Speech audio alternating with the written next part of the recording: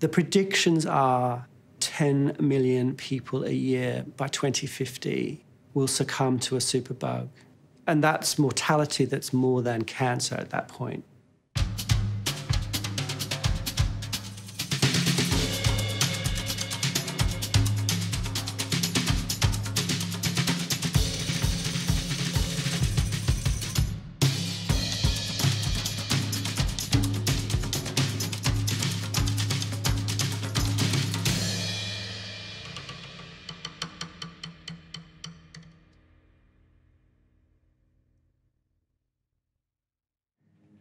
Our skin is covered in, in bacteria, which people often don't necessarily realise and recognise.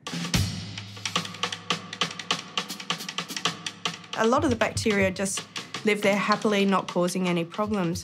But when you do surgery, so when you make a cut in the skin, these bacteria on the skin can suddenly get into the wound, and in that setting, they instigate the infection. But exactly the reason why they go from living happily and harmoniously on our skin to uh, causing problems in the wound is something that we're really only just beginning to, to understand. Overseas, they're are definitely seeing increasing numbers of superbugs than we are in Australia, as well as the superbugs are more extreme.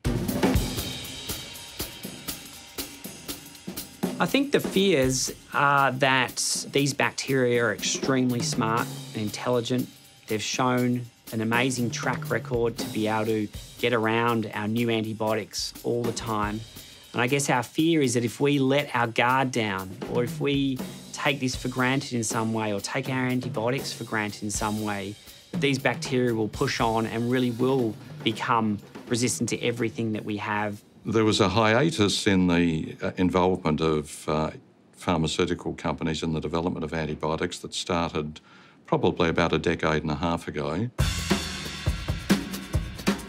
That led to significant concern amongst governments around the world and the United Nations and the World Health Organization. And as a result of that, there have been various initiatives brought into play to encourage pharmaceutical companies to get back into antibiotic development, which fortunately they're starting to do.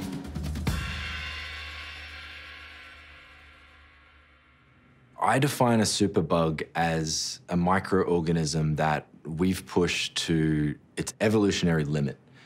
Uh, in the sense that we've been using antibiotics and antimicrobial agents against it for decades, and it's now starting to fight back. And we don't have the drugs or the chemicals to combat it any longer. The 50s and 60s, we found this miracle drug, a drug and a chemical that could eradicate and stop all bacterial infections. And we used that without much thought or concern for the consequences. And I think now we're starting to pay for that as a society. In agriculture, we use antifungal sprays on our crops, and these are very similar to the antifungal drugs that we would use in a hospital to treat a patient with a fungal infection. We also use antibiotics uh, in agriculture, sometimes therapeutically to treat uh, animals uh, to prevent infections, but often not therapeutically, but rather because they improve the rate of growth. You therefore have community-acquired infections by superbugs as well, where people just by being out in this environment can acquire infections as the basis of superbugs. In the end, it will be the case that a simple scratch from gardening could be something that would give you a, a really dreadful infection that may not respond to the antibiotics that the hospital has. The public view of superbugs is exactly what we're researching because we don't know in great detail what people think. We can analyse news media and public messaging and look at how the message has been given, but knowing how people interpret it is a big question. It's early days, but we're finding that people don't know very much. I think as individuals, uh, firstly, awareness and understanding of, of what we're dealing with, that it's, it is a here and now problem. It's not something that may be in the future. It's definitely here and now. And then I think as an individual, the most important thing is around understanding of antibiotics and when there's appropriate and then inappropriate use of antibiotics we should be going to our GP and rather than expecting to have an antibiotic, we probably should be questioning our GP, why would you be giving me an antibiotic for this? My experience is you need them when you are incredibly ill. The bug that created all this for me was Streptococcus A. I remember being put into a medically induced coma, so the intensive care staff were frantic, trying to work out what was going on. Then I woke up and I'd been in a coma for 10 days. I knew that, that I had been so sick that I had barely scraped through. And I woke up and my hands were turning black, like um, you see on Egyptian mummies. My legs were slowly turning black. She was given a broad spectrum antibiotic post exploratory surgery, which, as a battery of antibiotics, one of them hit the nail on the head. I'm alive because of that. I believe I'm alive because I got antibiotics. Yeah. I've had three massive infections. One, I lost my arms, and the other two, thankfully, I was at the time in hospital and they worked it out and gave me the, the correct antibiotics.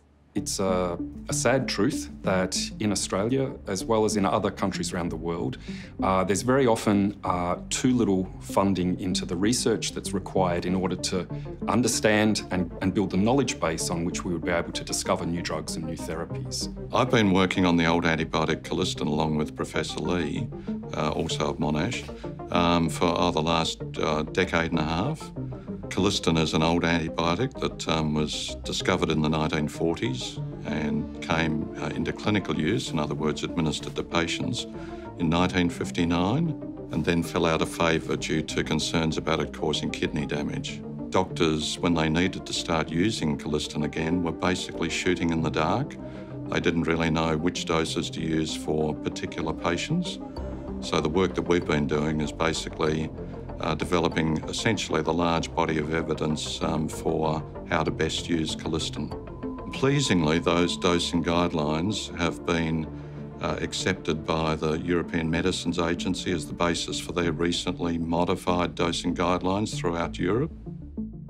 Bacteriophage is a tiny, tiny virus, and it's a specialized virus that only infects and kills bacterial cells. So it doesn't recognize or infect human cells.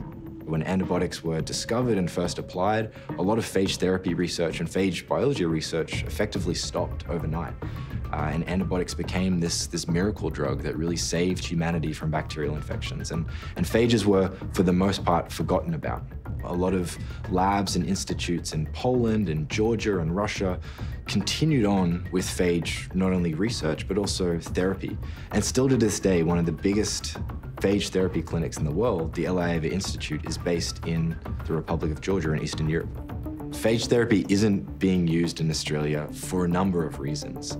There's a lot of fundamental biology and research that we still need to do to really understand how they work and how we can best use them to treat these antibiotic resistant infections in patients. It's happening slowly, and I'm positive that we will see effective phage therapy in Australia within the next decade. My work involves studies in a laboratory where we look at the effects of different antibiotic treatments on difficult to treat bacteria. We get the bacteria from patients from the hospital, so that's patients with difficult to treat infections.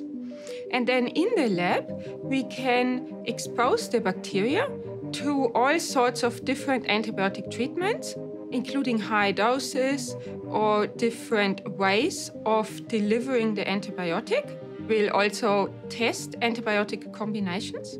In this way, we can simulate what happens in the human body and find out how these different types of treatments work. People need to take responsibility, not to protect themselves, but to, to protect others. And there are issues there about how we kind of cultivate that responsibility. What we know from HIV, for example, the communities who faced that risk were the first ones to galvanise and act and create strategies for moderating the impact. So we've got a lot to learn about how communities are facing these problems deal with them. The ultimate irony is that uh, as we get better and better at defeating cancer through the research investment that's been made and the clever uh, therapies that have come about, uh, more and more of the people who die as a result of cancer will die from infections. That will be their fate. And I just think this is such a dreadful dilemma that we really have to up our game in terms of what we do, looking into research on infections, on microbes, on bacteria, on fungi, to make sure that this terrible tragedy doesn't eventuate.